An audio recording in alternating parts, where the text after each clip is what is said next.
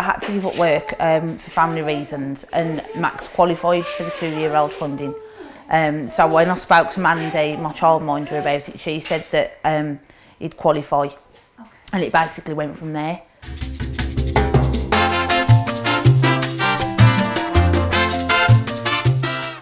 Uh, really, really easy. Um, I didn't have to do a lot, to be honest. Um, Mandy um, got all the paperwork together and things, and I think I just had to sign a couple of boxes, and that, and that was about it, really.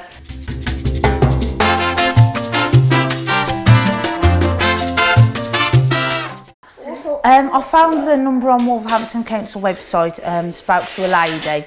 Um, I personally already made the choice to use childminders, so she sent me a list of all the childminders in my area. I wanted him to come to somewhere that was um, a home environment and I also think with childminder because they haven't got so many children um, they get a closer bond with the child because Max was very clingy when he was little so I didn't think he'd be suited to a day nursery as much as a childminder.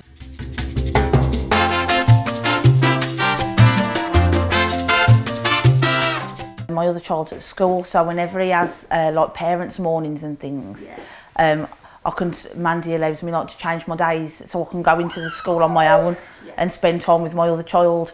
He's got a lot more confidence since coming to the childminder um, because, as I say, he was really clingy when he was little. He didn't like other people, other children or anything. And now he's got the confidence to play with the other children. He's a lot more resilient as well. Look around, um, talk to the parents who've used childminders and nurseries and, and make the decision for yourself, really, whatever suits you and your family.